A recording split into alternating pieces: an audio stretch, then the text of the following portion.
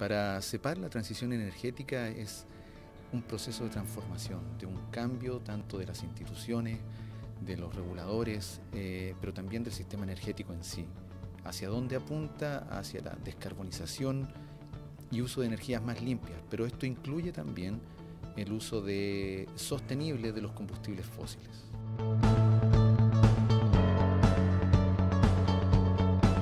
Por un lado podemos decir si la matriz energética primaria de la región y también la, matriz eléctrica eh, es mucho más renovable comparada con el mundo pero sin embargo tenemos una alta dependencia todavía de los combustibles fósiles eh, y en particular eh, mencionar que el sector transporte depende en un 99% de los combustibles fósiles. Ahora si vemos esta famosa transición desde una perspectiva regional, en realidad la región, la transición que ha hecho es hacia el gas, hacia el gas natural en particular, pasando de un 19% aproximadamente el año 2000 y al 2017 ya vamos casi en el 26%. O sea, es ahí donde se está produciendo el cambio. Las energías renovables todavía han aumentado, sí, pero algo incipiente todavía y han aumentado muy poco, en un porcentaje del 1 o 2% en general de la matriz primaria.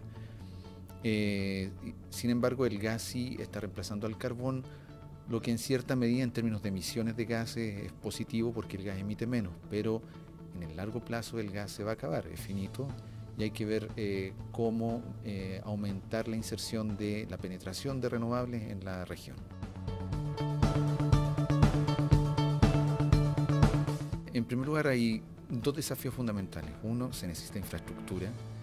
La penetración de renovables no es solo un tema de que la renovable sea barata, que eso es muy positivo, o sea, los costos ya son accesibles y competitivos comparado con el carbón o el gas, pero el desafío es que se necesita infraestructura adecuada.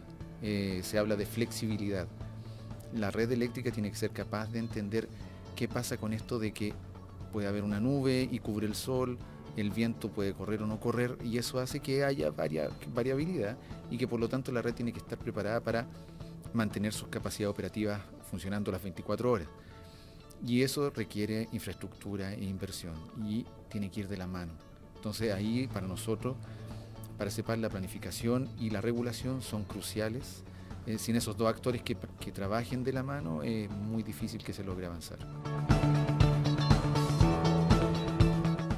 Están todos los actores presentes, está no solo la región, sino que el mundo presente, pero hay que trabajar de manera más integrada. Hay que armonizar la manera en que planificamos, discutir cómo eh, vamos a regular el futuro mercado energético de la región, que hoy no existe y que sin eso es muy difícil que la región asegure sus necesidades energéticas en el futuro. ¿Y por qué? Muy sencillo, los recursos energéticos de la región están totalmente distribuidos de manera aleatoria. Hay países que tienen muchos recursos y hay otros que no tienen nada. Y si no hay una integración y, y cooperación, va a ser muy difícil.